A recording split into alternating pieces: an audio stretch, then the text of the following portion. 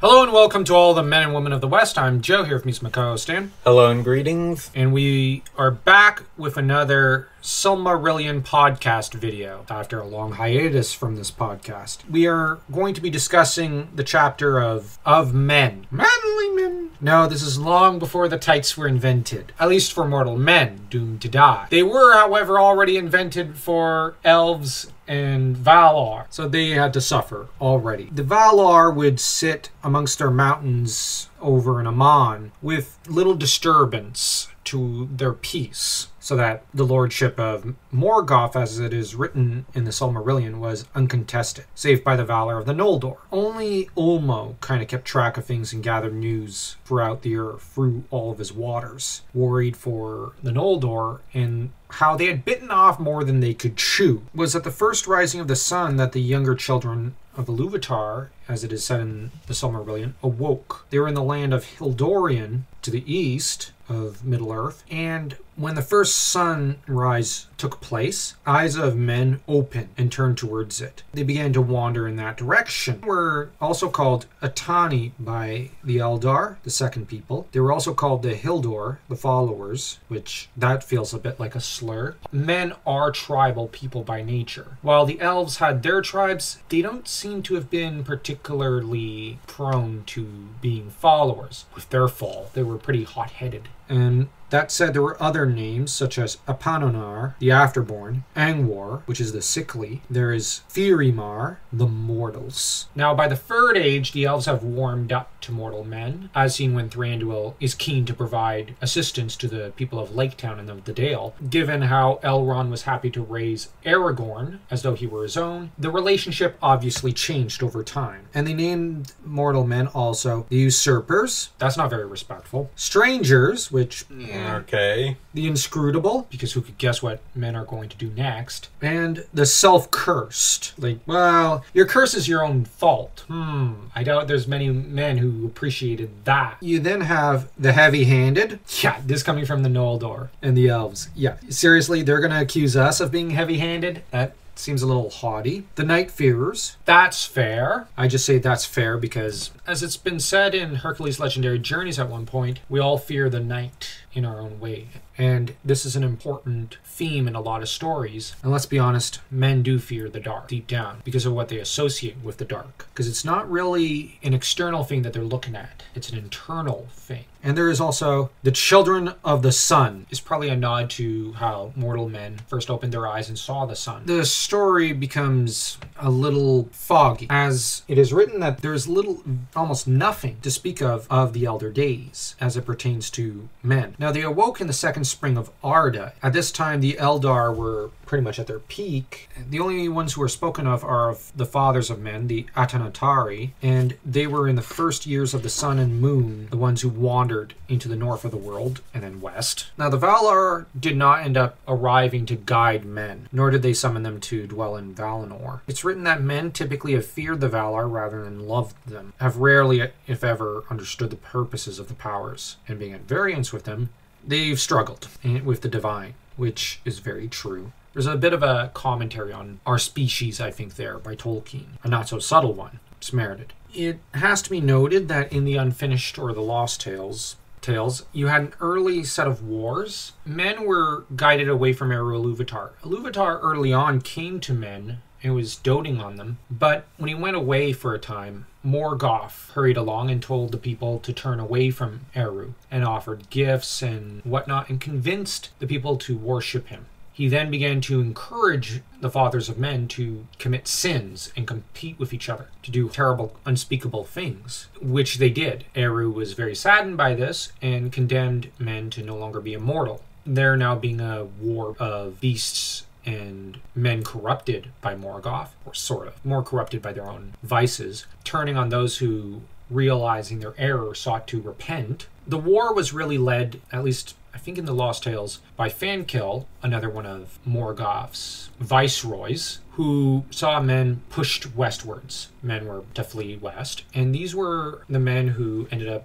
being the ancestors to Beor, for example, and Hala. And they arrived in the west after years of wanderings, and when they finally arrived west, they were met with the Eldar. The sad thing is they were they wished to flee the darkness and find their way towards the light, only to find Morgoth in the west when they had tried to, to flee from him. So it's a rather tragic fate that they were trying to give their children a better future. They were fleeing from evil only to find the king of evil off in the west. They were manipulated in that regard by Morgoth. But that seems cruel. But that's Morgoth. Yeah, very true. Very true. That said, it is then that they realized they could not run away from the dark forever. So they decide to stand and fight these men of the West were to fight to the death for generations in a almost feudal struggle against Morgoth. In this regard, the story becomes rather akin to World War One in some ways, and you can see some of the experiences seeping into certain parts of the story and some of the view of we fight for our future generations so that they won't have to suffer as we did mentality that was pretty prevalent in the greatest generation,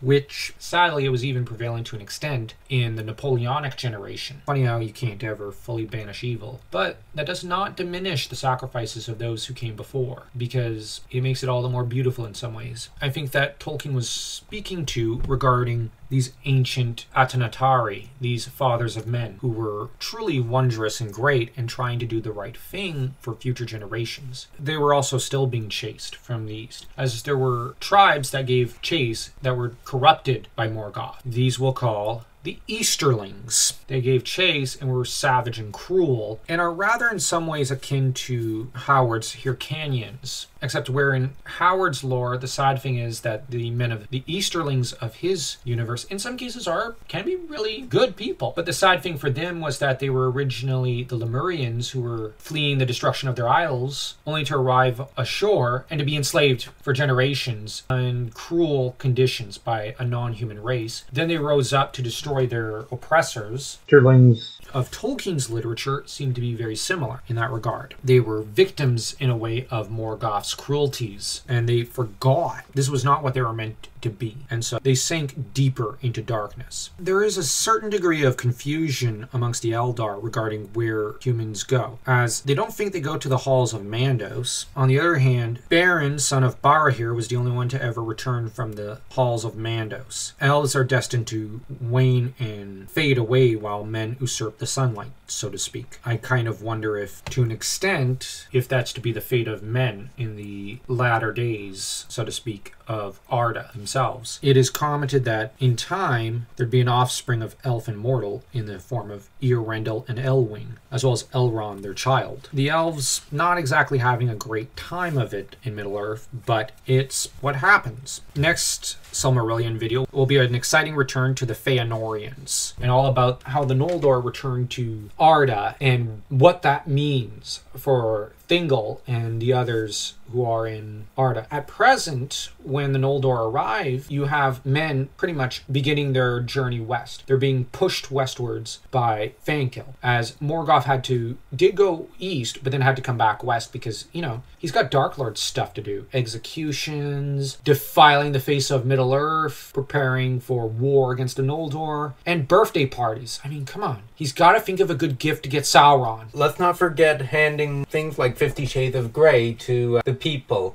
Oh yes, defiling the human race with Fifty Shades of that is his greatest crime. That and Twilight. Oh, definitely. But anyways, jokes aside, what was your thoughts of this page and a half of a chapter? It is quite a philosophical chapter because you see the effects of religion and lack of religion. Men, here it is, when they worshipped the Eru Iluvatar, they were prosperous. But the moment they turned away from him, look at what happened. It's more reminiscent to an extent of something that Christopher Lee once said is that if you devote yourself to the occult, you will effectively lose your mind over time. That you kind of see that philosophical battle between the worshippers of Iluvatar and the worshippers of Morgoth. And then there's the entire matter of is a curse really a curse or is it a blessing? And is a blessing truly a blessing or is it a curse? When Okay, it- th- that's a complicated question. The idea of death is called the gift of Iluvatar. At what life is, it's been said that life is passion and suffering. That these are the two constants of the human experience and of life itself. Looking at it that way, you're always passionate about something, and you're also always suffering in some capacity, almost undeniable as a part of the human experience. If you could live forever, you'd basically be suffering forever and tormented by your passions forever, whether it's love or hatred. But then inevitably there will be a lot of suffering. That's really what I kind of wonder with the elves. Is it really a prize? Because you look at Feanor, it wasn't exactly a fun experience for him living forever. I mean,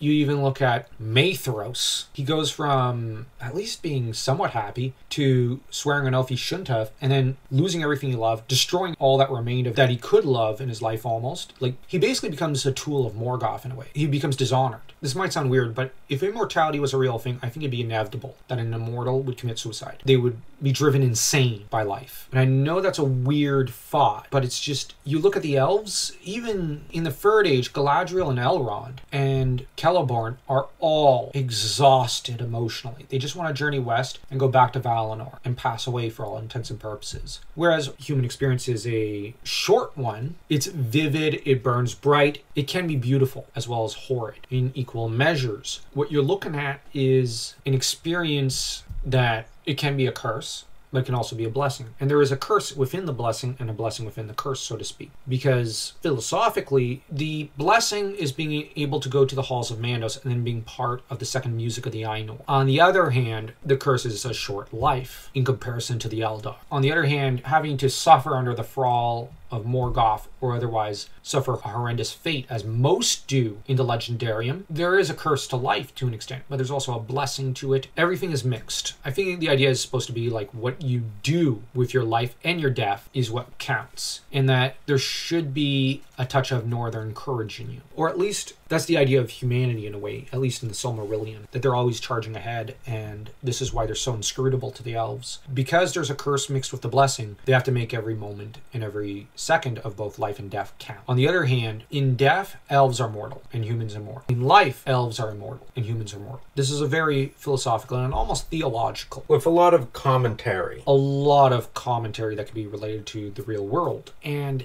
it's a fascinating, fascinating chapter. So if you enjoyed this video, don't forget to smash that like and that subscribe button as though you were Morgoth crushing Fingolfin with Grond.